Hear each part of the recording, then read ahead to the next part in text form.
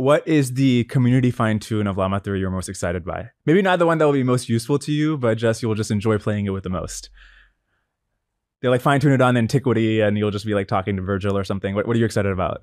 I don't know. Um, I mean, I think the nature of the stuff is it's like you get surprised, right? So I think like any any specific thing that I sort of thought would be valuable, we'd probably be building, right? So, um, but I, I think you'll get distilled versions. I think you'll get kind of smaller versions. I mean, I mean, one thing that, that I think is eight billion. I don't think is quite small enough for for a bunch of use cases, right? I think Hmm. like over time, I'd love to get you know a billion parameter model or a two billion parameter model, or even like a I don't know, maybe like a five hundred million parameter model, and see what you can do with that. Because I mean, as as they start getting if if, it, if with 8 billion parameters we're basically nearly as powerful as the largest llama 2 model then with a billion parameters you should be able to do something that's interesting right and faster um, good for classification or a lot of kind of like basic things that people do before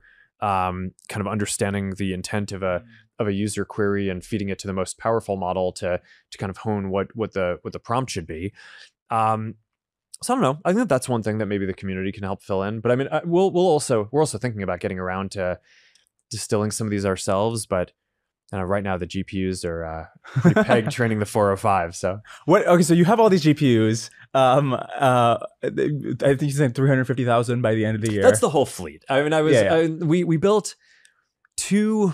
I think it's like 22, 24,000 clusters that are kind of the single clusters that we have for training the big Yeah. models.